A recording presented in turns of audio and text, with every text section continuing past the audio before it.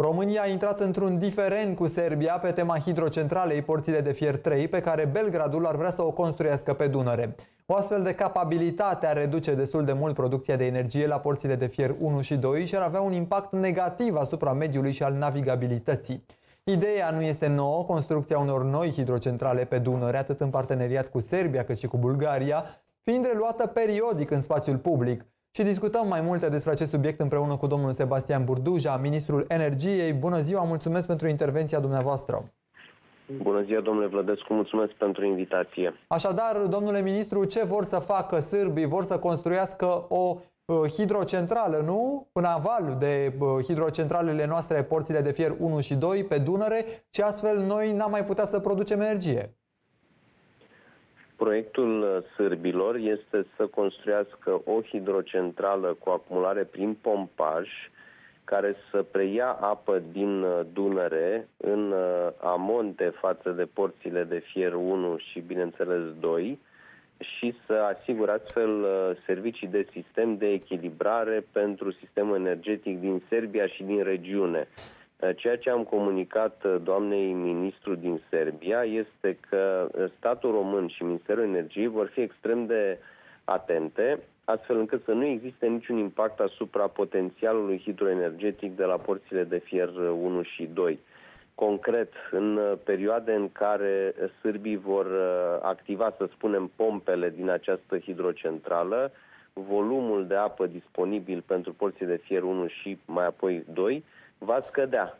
Iar ceea ce noi am solicitat părții sârbe este să demonstreze pe baza studiului de prefezabilitate pe care l-au întocmit împreună cu o companie americană Bechtel, că nu va fi afectată producția de energie electrică la porții de fier 1 și 2. E de altfel un interes comun și pentru români și pentru sârbi, pentru că cele două proiecte, așa cum se știe, sunt exploatate în comun de cele două părți. Pe de altă parte, domnule ministru, pentru că este încă vară într-adevăr, dar ne apropiem cu pași repezi de uh, iarnă și pregătirile sunt în toi. Știu că ați verificat deja stadiul aprovizionării cu cărbune, ne interesează și cu gazele, dacă avem suficiente în depozite. Cum stăm cu pregătirile pentru iarnă din punctul acesta de vedere? Stăm bine. În ceea ce privește stocul de gaze naturale din depozite, Vă pot spune datele la zi. Suntem cu un grad de umplere de 85,51%, 2687,9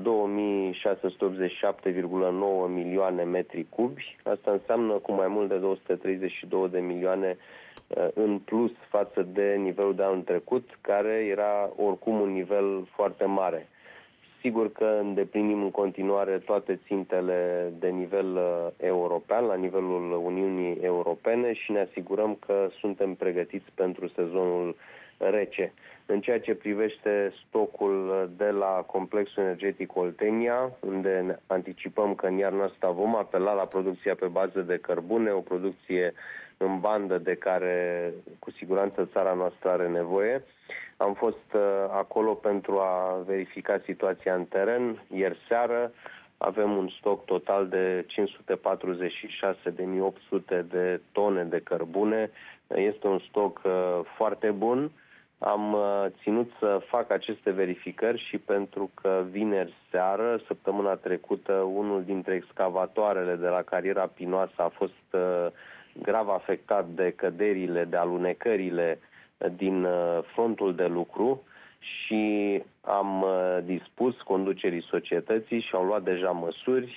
S-a repornit un alt excavator de mari dimensiuni, acolo excavatorul 10, care va înainta pe, o, pe un alt front de lucru într-o altă parte a carierei unde există zăcământ de cărbune foarte bun.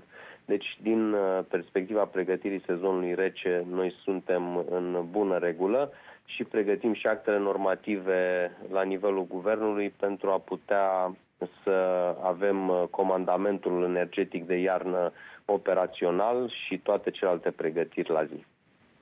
Mulțumesc tare mult pentru intervenția dumneavoastră, domnule Sebastian Burduja, ministrul energiei a fost în direct uh, cu noi, așadar despre ce înseamnă pregătirile pentru iarnă și despre conflictul pe care îl avem în acest moment cu țara vecină. Sârbii vor să construiască o hidrocentrală, porțile de fier 3 pe malul Dunării, o hidrocentrală care să fie construită în aval de cele două hidrocentrale, porțile de fier 1 și 2, românești, pe care noi le-am construit, statul nostru le-a construit și astfel ar reduce cantitatea de apă evidentă și de energie care ar putea să ajungă în uh, țara noastră. Acum însă mergem mai departe.